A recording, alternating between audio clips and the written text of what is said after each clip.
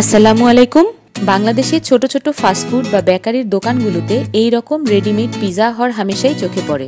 এইগুলোকে আসলে পিজা বলা যায় কিনা এই ব্যাপারে আমি সন্দিহান। কারণ পিজা যেভাবে তৈরি হয়, এই পিজাগুলো সেইভাবে তৈরি হয় না। এই পিজাটা আমরা দোকান থেকে কিনে নিয়ে এসেছি।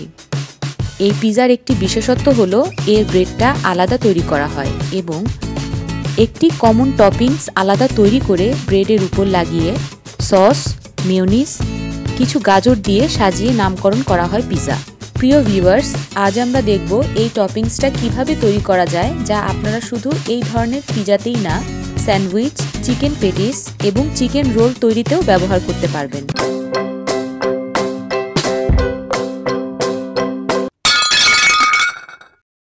টপিংস তৈরি করতে যা যা লাগবে।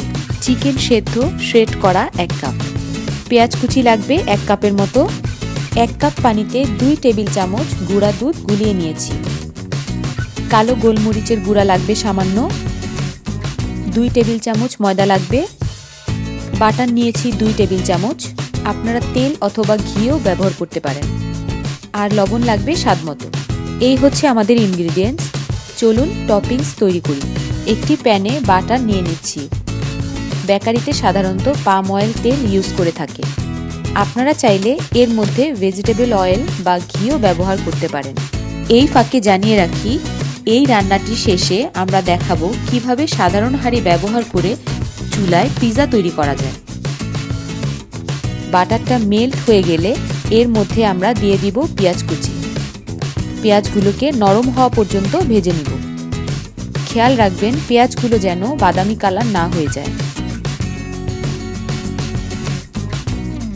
পেঁয়াজগুলো যখন নরম হয়ে যাবে, তখন এর মধ্যে অ্যাড করব দুই টেবিল চামচ ময়দা এবং ভালোভাবে ভেজে নিব, যেন ময়দার কাঁচা ভাবটা চলে যায়।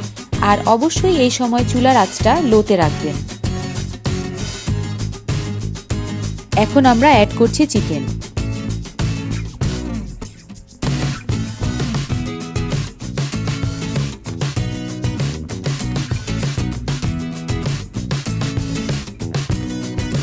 দিয়ে দিচ্ছি পরিমাণ মতো লবণ। এগুলো মিক্স করে আমরা ভালোভাবে মিনিট দুয়েক ভেজে নিব। এখন অ্যাড করব সামান্য গোলমরিচের গুঁড়া।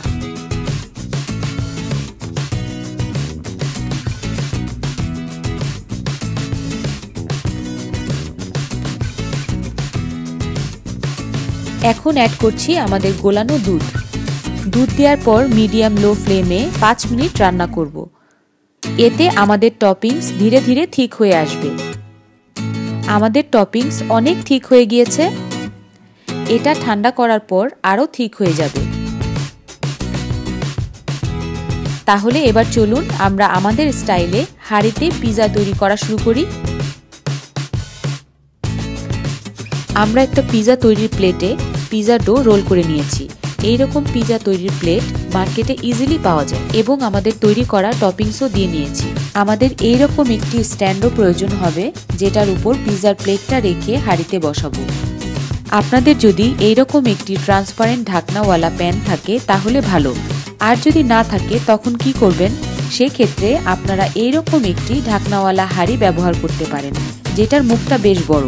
আমরা হাঁড়িটাকে আগেই লো হিটে পনেরো মিনিট গরম করে নিয়েছি। এখন আমরা পিজাটাকে স্ট্যান্ড সহ হাঁড়ির মধ্যে বসিয়ে ঢাকনা দিয়ে ঢেকে মিডিয়াম লো ফ্লেমে বিশ মিনিট রেখে দিব।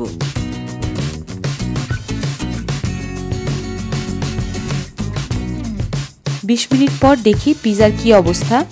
আমাদের পিজা হয়ে গিয়েছে। এখন এটাকে তুলে বেকারি স্টাইলে সাজিয়ে নিব। তৈরি হয়ে গেল আমাদের পিজা আপনাদের যে কোনো প্রশ্ন বা মতামত আমাদের কমেন্টসে লিখতে পারেন। আমাদের চ্যানেল সাবস্ক্রাইব করতে ভুলবেন না। ধন্যবাদ।